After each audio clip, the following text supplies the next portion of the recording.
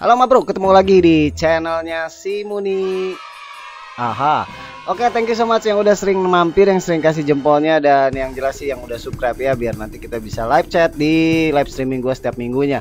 Oke, kali ini kita akan bahas Ragnarok Online X Next Generation yang jelas untuk ganti jobnya ke Whitesmith dari Blacksmith ya bro ya Dari uh, merchant, ini tidak seseram apa yang saya bayangkan untuk monster yang munculnya bro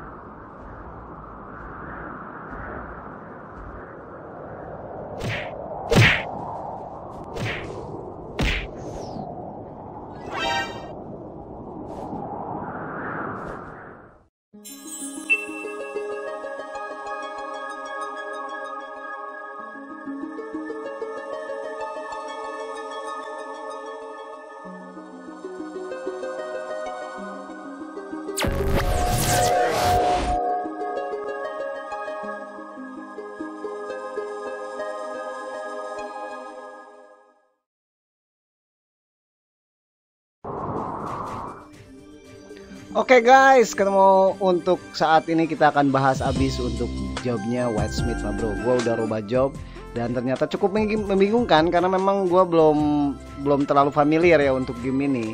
Sebelumnya gue nggak pernah mainin game Ragnarok tapi baru kali ini gue coba bedah. Dan ternyata cukup menarik banyak sekali fitur-fitur yang pada umumnya dulu sangat terkenal sekarang mereka cuman buang-buang aja ataupun digratisin seperti loadout ataupun untuk set status nggak terlalu mahal ya bro ya. Dan kita bisa terjangkau dengan hanya cukup memainkan game ini secara free. Cuman ada satu hal yang harus kita bahas di sini mengenai adalah uh, skill untuk mengambil uh, keuntungan dari dropan Jenny yang lebih besar yaitu green. Ya, green ini gue maksimalin coba dan uh, card termination sebagai stun area itu untuk uh, membackup ya bro ya dan gue pakai skillnya dari meltdown dan juga uh, skill untuk melempar Jenny. Jadi sebenarnya yang harus kalian pertimbangkan ini adalah mengenai uh, start point yang harus kalian masukkan. Hard Jenny ini sebenarnya cukup uh, merugikan kalau kalian lebih dari level 2 ya karena akan memakan lebih dari 400 Jenny per sekali hit. Sedangkan dalam membunuh monster itu kalian bisa sampai 5 sampai 6 kali hit ya, Bro ya. Otomatis kalian akan terkuras habis untuk Jenny-nya itu sendiri dan banyak sekali teman-teman yang baru mau nyoba untuk uh, job uh, ini uh, jadi alangkah lebih baik kita perhatikan saja untuk hard Jenny dan max maksimum overthrust walaupun itu besar ya e, untuk me, apa menjatuhkan monster yang sedang kita buru. Cuman saya pengen tahu ini worth apa enggak untuk pengembalian 20% dari e, e, penghasilan Jenny yang monster sudah kita bunuh.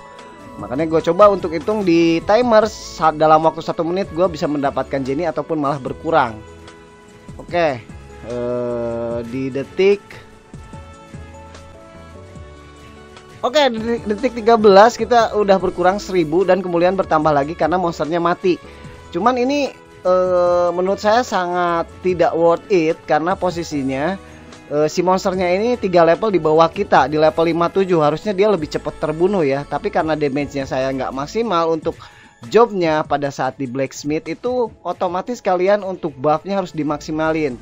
Gua karena pengen nyoba uh, untuk skill green yang tadi yang untuk menghasilkan jenis sebesar 20% ternyata itu nggak berfungsi lebih baik ya bro ya. Tidak sesuai harapan saya. Dalam satu menit malahan kayaknya gua nggak akan bisa menguntungkan dari Jenny. Malah jadi rugi. Otomatis uh, kalkulasi perhitungan saya hancur mah bro. Karena saya kira dari dua skill yang mengeluarkan per 200 uh, Jenny sekali hit itu uh, bisa seimbang dengan uh, greennya uh, dari skill uh, Whitesmith yang sudah saya maksimalkan. Aturannya sih 20% kalau misalkan mengeluarkan Jenny-nya 400 harusnya gua untung. Oke, gua coba lagi di si Minoros. Minoros tuh uh, lebih tebal lagi, ini lebih parah lagi di level uh, 59 ya, beda di bawah level saya satu.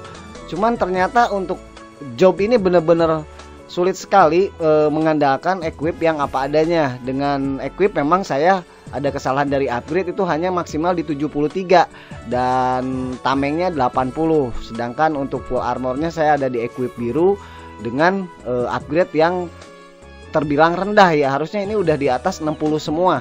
Sedangkan aksesorisnya udah masuk di angka 20 ini masih belang-belang. Jadi otomatis damage dan daya tahan gua nggak terlalu kuat untuk uh, apa namanya untuk menahan dua monster ini sekaligus. Uh, tapi uh, mungkin dengan doping dari potion yang memang gua pakai itu bisa saja. Uh, tapi akan menjadi boros ya bro ya uh, otomatis tetap buat teman-teman tipsnya kali ini gue tetap informasiin bahwa kalian harus lebih fokus di masalah upgrade senjata dan armornya ya jangan terlalu memikirkan untuk masalah refine refine itu sebenarnya ke plus 3 aja udah cukup ya jangan berharap lebih dulu uh, sebelum kalian kaya maksud saya Oke, okay. mungkin teman-teman yang lain juga ada yang lebih ngerti, lebih paham juga dia lebih mengutamakan untuk equip putih aja dan dia di tier ataupun dinaikkan levelnya, di upgrade. Karena equip putih memang bisa di tier sampai 4 ya bro ya. Itu pasti untuk skill hit damage ASPD lebih tinggi lagi. Cuman memang agak susah juga ya Karena posisinya kalaupun dipakai solo tetap aja itu akan bocor. Oh, uh, makanya saya lebih memikirkan gimana caranya uh, dengan equip biru yang mau coba saya build ini bisa uh, bertahan dan irit ya bro ya. Oke, hampir 2 menit untuk ngebunuh monster aja dua biji per satu menit ya bro ya. Jadi ini benar-benar kebilang rugi. Dan saya udah kehilangan kurang lebih 3000 Jenny. 3000 K. 3K 3K Oke kita tester lagi. Ini yang udah saya coba riset dan saya coba ngecek aja menggunakan pet. Ini sebenarnya doping ya. Pet itu doping kalian mungkin harus punya juga ya walaupun satu buah uh, gua uh, berarti lunatik ini dia ada kelebihannya karena memiliki HP ya tambahan HP dan juga kritikalnya yang lebih tinggi. Karena kualitasnya beda. Uh, dan ini gue pakai si rocker ini sebenarnya untuk menaikkan dari SPD dia punya SPD bro. Dan cukup mumpuni lah kalaupun gue urus ya nggak nggak dilepaskan ya.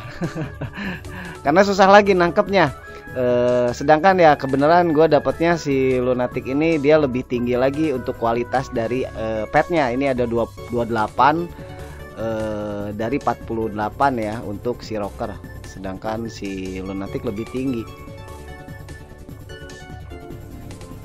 Minorus.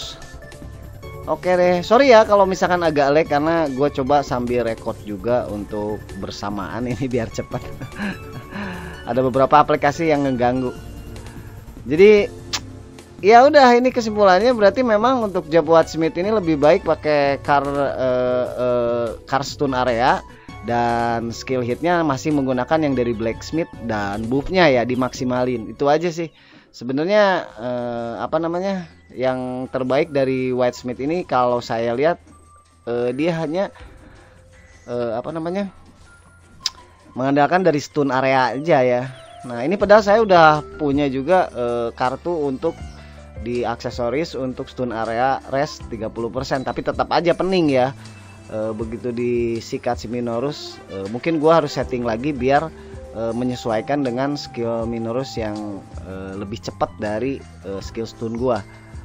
Oke, Contamination ini menurut gue sih memang harus dimaksimalin. Itu aja menurut saya untuk White Smith ya untuk whitesmith yang sisanya itu kalian yang kalian pernah pakai di blacksmith itu skill buffnya dimaksimalin aja.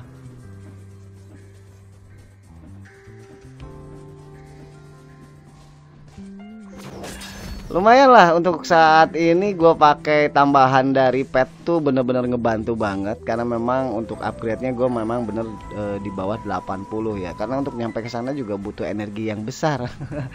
Butuh uh, biaya yang nggak sedikit maksudnya sedangkan keburu datangnya pet ini juga makan kristal gua udah hampir 200 ribu gua keluarin untuk dapetin dua buah pet ini Oke, okay, untuk saat ini kita akan bahas untuk status, tapi kayaknya udah cukup deh.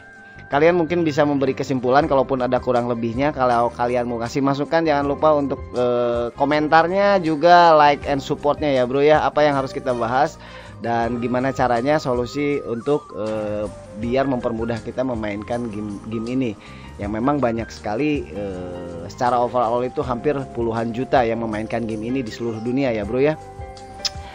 Ya mungkin teman-teman tergiur untuk uh, masuk server baru yang kemarin baru muncul tapi karena gue udah terlanjur munculnya ada di Majapahit jadi ya nggak masalah ya beda server pun. Yang penting intinya sih ilmu yang kita sharing ini e, bisa digunakan kalian pada saat memainkan game di server apa pun.